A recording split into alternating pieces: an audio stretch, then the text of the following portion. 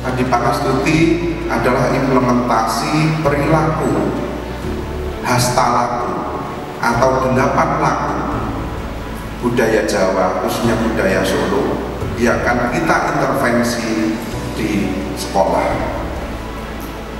Delapan laku tersebut adalah gotong royong, guyub rukun, gerabyak semana, lembah mana, ewuh pengewuh, pangerten, andap asor, dan teko seliru.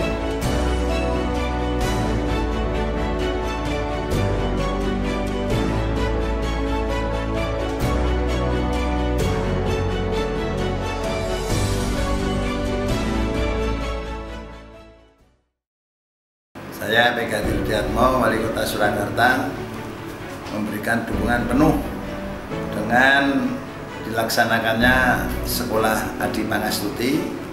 Semoga dengan Sekolah Adi Pangastuti ini warga masyarakat Kota Surakarta akan lebih mengenal dengan adanya gotong royong persatuan sebagai bangsa Indonesia yang tidak pernah memandang suku, agama, golongan, dan lain sebagainya. Selamat dan sukses untuk sekolah di Pangastuti.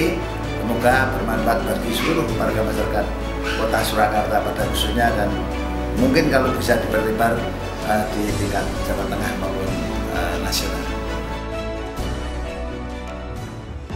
Saya Suyanta SPD MPD, Kepala Cabang Dinas Pendidikan Wilayah 7 Provinsi Jawa Tengah yang terkantor di Surakarta terkait dengan sekolah Adi Pangastuti kami dari cabang dinas menyambut baik hal ini karena sinergis dengan program pemerintah yaitu tentang pembentukan karakter karakter building harus kita mulai dari sekarang semua lini bergerak untuk menciptakan sumber daya manusia yang berkarakter apalagi karakter lokal.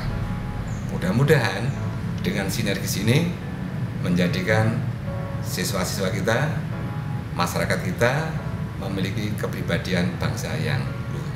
Terima kasih. Assalamualaikum warahmatullahi wabarakatuh. Saya Harun Ningsih, Kepala SMA Negeri 1 Surakarta.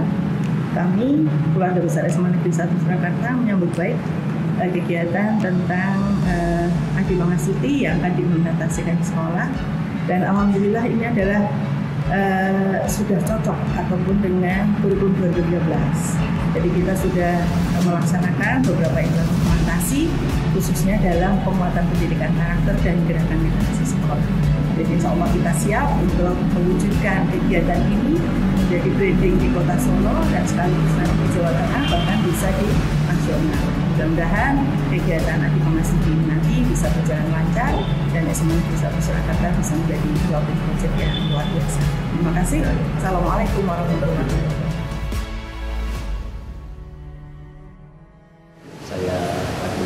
Wijayanto, Kepala SMA di Surakarta, dan Bapak Sunarjo, Kepala Sekolah Bidang Humas SMA Surakarta, sangat mengapresiasi dengan program Sekolah Adi Pangastuti yang diinisiasi oleh Solo Simponi sehingga saya berharap dengan adanya program ini internalisasi nilai-nilai yang ada di program ini seperti gotong royong kemudian ada lembah mana dan merupakan hasta laku yang merupakan budaya luhur dari uh, budaya Jawa ini bisa terinternalisasi pada anak-anak sehingga meskipun anak-anak sekarang merupakan generasi milenial tetapi kesalahan sosial, kesantunan sosial uh, tetap berada dalam jiwa anak-anak uh, peserta didik kami sehingga ke depan betul-betul menjadi sumber daya yang bermanfaat bagi negeri yang kita cintai.